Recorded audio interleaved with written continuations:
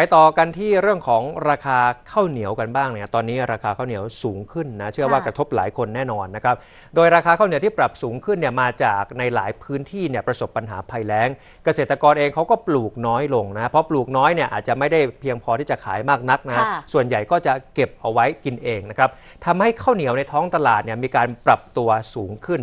วันนี้ทีมข่าว NBT นะครับลงไปตรวจสอบในพื้นที่นะครับไปสำรวจร้านขายข้าวเหนียวแถวๆย่านห้วยขวางนะครับก็พบว่าราคาข้าวเหนียวเนี่ยปรับตัวสูงขึ้นจริง ๆ ครับ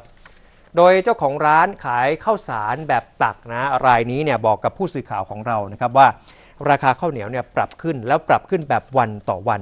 โดยเดือนนี้นะครับปรับขึ้นจากเดือนที่แล้วเฉลี่ยนะครับกระสอบละ 200 บาท ต่อกระสอบขนาด 45 กิโลกรัม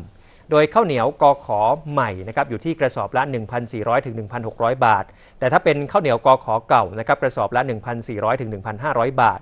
ข้าวเหนียวเขี้ยวงูนะครับกระสอบละ 1,700ถึง1,800 บาท ส่วนขนาดถุง 15 กิโลกรัมนะครับราคาเดิมจำหน่ายอยู่ที่ 390 บาท ตอนนี้ปรับขึ้นเป็น 470ถึง480 บาทไปแล้วครับ ราคาจากเดือนที่แล้วเดือนนี้ขึ้นหนึ่งกระสอบประมาณ 200 กว่าบาท ก็น่าจะเหตุผลพอจะทราบว่าหนึ่งของเราแรงนะสองก็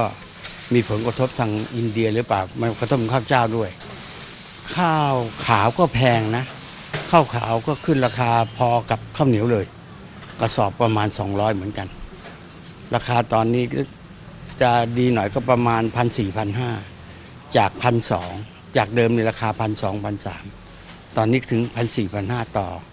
ต่อกระสอบสี่สิบห้ากิโลครับ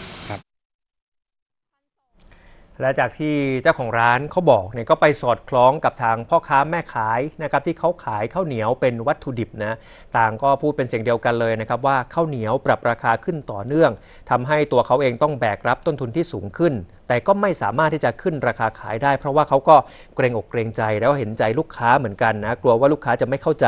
จึงอยากจะให้รัฐบาลใหม่เข้ามาดูแลสินค้านะให้ปรับราคาลดลงด้วยครับ คือจริงๆแล้วผมพยายามขายราคาเดิมตึงเอาไว้อะเพื่อเพราะว่าเราไม่อยากขายมันแพงเกินไป เพราะว่าลูกค้าถ้าเขาลองได้ทานแล้วเนี่ยเราไปขึ้นราคาอย่างเงี้ยเขาก็ไม่ค่อยโอเค แต่จริงๆแล้วเราก็ต้องมาลดต้นทุนเราของเราแล้วก็กำไรของเราที่มันน้อยลง จริงๆมันน้อยลงอยู่แล้วนะ เพราะว่าด้วยด้วยมันไม่ได้ข้าวอย่างเดียวครับ พวกหมูอะไรมันมันถีบตัวขึ้นพร้อมกันหมดเลยก็ก็ค่อนข้างแย่อยู่นะ ผมว่า ก็รอหวังรัฐบาลใหม่นะเผื่อจะ ปรับปรุงอะไรแบบว่าให้ค่าต้นทุนให้พวกแม่ค้าได้ได้ได้ได้ต้นได้กำไรได้เยอะขึ้นนิดนึง ขึ้นมาเรื่อยๆเลยค่ะ ตอนนี้เดือดร้อนมากเลยค่ะ ค่ะ เพราะว่าของมันแพงมากจ้าตอนนี้แม่ค้าปรับกลยุทธ์ยังไงขายขายขายน้อยลงแต่ราคาเดิมค่ะห้าบาทเท่าเดิมค่ะ ค่ะ อยากให้ จ้าอยากให้ของถูกลงมานิดนึงค่ะ ของทุกอย่างเลยค่ะ อยากให้ปรับราคาลดลง ขายเหมือนเดิม ไม่ได้ไม่ได้ขึ้นราคาอะไรพี่ตักเท่าเดิม ลูกค้าขอมากขอน้อยแล้วแต่คนไงถือว่าค้ากันไปพี่